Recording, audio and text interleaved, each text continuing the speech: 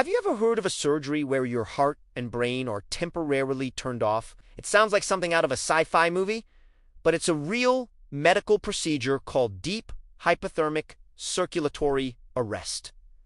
Here's how it works. For extremely complex heart surgeries, like repairing the aorta, surgeons need a bloodless, motionless field to work in. To achieve this, they carefully cooled the patient's entire body down to a chilly 18 degrees Celsius, or about 64 degrees Fahrenheit. At this incredibly low temperature, the body's metabolic rate drops dramatically. This means the brain and other organs need very little oxygen to survive. The heart stops beating, and blood circulation is paused, giving the surgical team a crucial window of time to perform the delicate operation. Once the repair is complete, the patient is slowly and safely warmed back up, and their heart and brain function return to normal. It's an amazing technique that makes seemingly impossible surgeries possible. Subscribe for more interesting medical facts.